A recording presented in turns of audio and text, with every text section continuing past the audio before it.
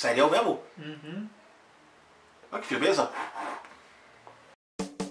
Na verdade, eu nem sabia muito sobre esse termo, machismo e sexismo, mas eu era muito sexista, entendeu? Eu via a mulher muito como um corpo. É, eu acho que o que engana muitos homens assim, a gente acaba se auto-enganando. Porque a gente tem aquela imagem que a gente acha que machismo se resume a mulher cuidar da casa, homem trabalhar, a você mandar nela, ou ela receber menos que o cara, ela ter É menos muito mais a, é direitos. uma- além do que Então a galera acha que só porque só a mulher, tá, o cara casou, ele acha que só porque a esposa dele trabalha, ele acha que só porque a esposa dele ganha mais do que ele, ou ele acha que só porque a esposa dele não faz tarefa doméstica, ele acha que ele não é machista. Uhum. E Mas não. Não é, tipo, a partir do momento que você, sei lá, olha pras minas e fala, caralho, velho, você só quer comer as minas, não dá nem aí pro sentimento delas, ou você acha que é tudo puta, você acha que é tudo interesseira, isso te faz machista, tá ligado? Ah, com Não certeza. interessa se você respeita o trabalho dela, se você não tá nem aí dela ganhar mais que você, se você não faz a mínima questão, se você não quer que ela cuide da casa, essas coisas. Tipo, tá ligado? Não tem nada a ver, mas você acaba querendo controlar os hábitos dela, tá ligado? Você, você quer controlar a roupa que ela veste. Então, mano, machismo é uma coisa bem mais ampla, tá ligado? Por isso que eu falei pra você antes, eu, eu assim, é- não é legal generalizar, mas eu acho muito difícil um homem, nos dias de hoje, ainda hoje, não ter alguma coisa de machismo, tá ligado? Sim. Eu acho que tem níveis de machismo. Tem, cara, tem caras que não estão nem aí, que não querem desconstruir. Tem homens que estão procurando sempre desconstruir pra tentar chegar num patamar mais igual assim, né? Uhum.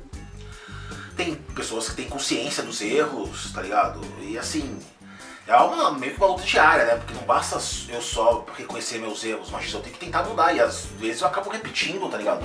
Sim. E assim, assim, tem que entender também, né, que óbvio, não é porque você tá namorando que, que você automaticamente vai deixar de se sentir atraído ou achar outras pessoas bonitas. Tanto o homem quanto a mulher, em qualquer relação, interessa se a pessoa é homossexual ou heterossexual, você pode muito bem estar com uma pessoa e achar outras atraentes. Não tô falando de você ir lá ficar com outra.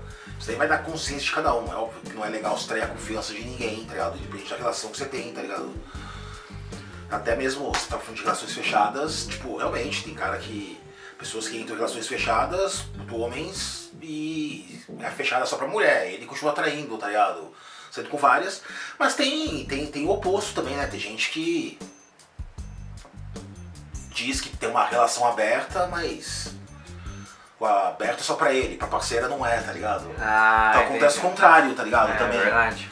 Então o machismo pode vir de várias formas aí, às vezes tem muito homem que se diz mega desconstruído, tá do lado a lado, e o cara às vezes é mais machista do que uns fascistinhos, coxinha aí, tá ligado? Acontece também isso, né, mano? Então tem, tem de tudo, tá ligado? Eu acho que, sei lá, hoje em dia que tá tudo bem politizado, que se fala bastante de feminismo, o feminismo de uma forma geral tá mais atrelado a grupos políticos de esquerda. Então